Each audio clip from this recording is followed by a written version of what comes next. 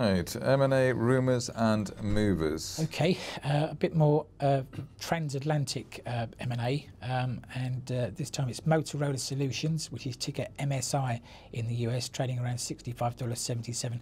This is uh, a networking uh, business. You might remember the company was splitting to um, a while back, and uh, Google acquired the hand, the, the, the, old mobile phone handset business. This was the rump of the business. They're going to, to uh, or are in talks to buy a UK uh, company called Airwave Solutions Limited, and they uh, are a privately owned emergency communications company.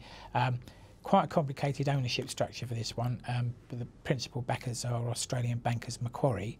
Um, Motorola said to be happy to offer around 1.6 billion for Airwave, and it recently, this is quite interesting, it recently received a billion dollar injection uh, from Silver Lake Partners via an instrument called a pipe loan for this kind of deal. What the pipe loan basically does for anyone who's not aware, a private equity company takes a stake in a private in a in a public equity business or a quoted business.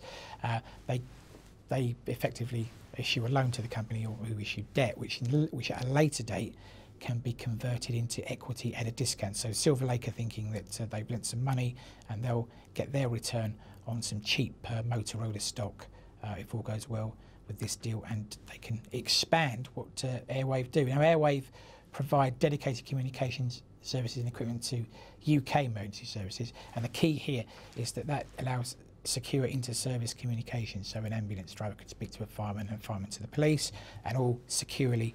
Um, that that is the sort of thing that Motorola would definitely like to look to roll out um, across uh, both the USA and the rest of the world, and in the USA particularly, secure bandwidth solutions are very much in demand. So um, it's interesting to note that we've got we've still got some world-leading businesses. Shame this one wasn't quoted, and doesn't look like it ever will be now. Yes. But, uh, but uh, there's still billion pounds worth. Yeah, of, uh, of M&A for the UK. Yeah.